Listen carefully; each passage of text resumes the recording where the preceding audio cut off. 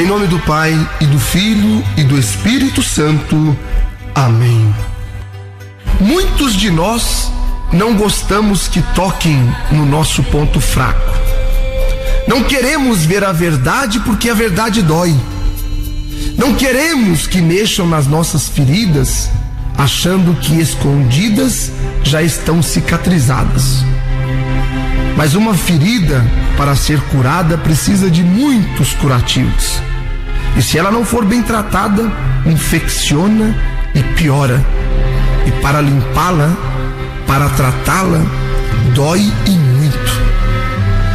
Então nós precisamos refletir se de fato estamos com as feridas que trazemos dentro de nós, decepções, angústias, erros, derrotas, rancor. Se estamos com essas feridas realmente curadas ou totalmente curadas.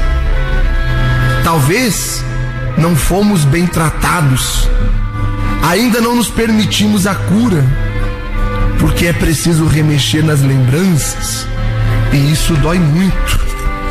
Então, meu irmão, eu te digo uma coisa: para encontrar a verdadeira felicidade, é preciso permitir-se a cura. É preciso olhar para dentro de si com os olhos cheios de amor e aceitar o tratamento total que só Jesus, o médico dos médicos, pode realizar. Para ser tratado, antes de mais nada, é preciso se amar, perdoar-se e aceitar-se como é.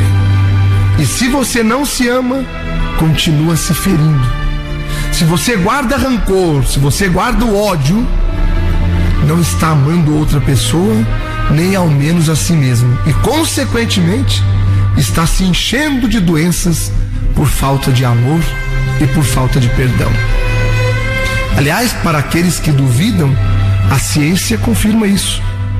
O que adianta eu ser uma pessoa maravilhosa, aparentemente boa, caridosa, fazer isso e aquilo, se porém eu estou cheio de feridas? Meu irmão, seu milagre vai acontecer. Você vai alcançar sua graça. Mas dê o seu primeiro passo. Abra hoje o seu coração e permita que Jesus entre e cure todas as suas feridas.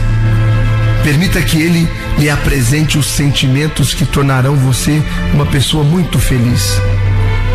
Tenha certeza, se vivermos a caridade, se vivermos a alegria, se vivermos a paz, a paciência, a afabilidade, viveremos Jesus Cristo plenamente nas nossas vidas. Que Ele te abençoe, hoje e sempre, em nome do Pai, e do Filho, e do Espírito Santo. Amém.